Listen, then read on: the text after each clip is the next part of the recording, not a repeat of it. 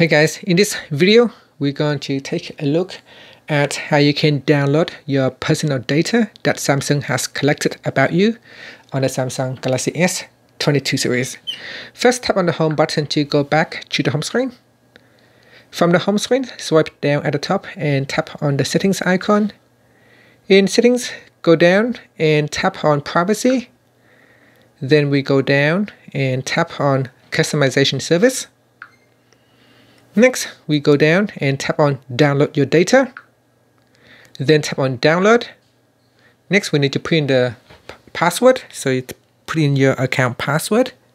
Once you put in your password and tap on the OK button, your phone will proceed to request for the download. If you put in the incorrect password, you need to try again.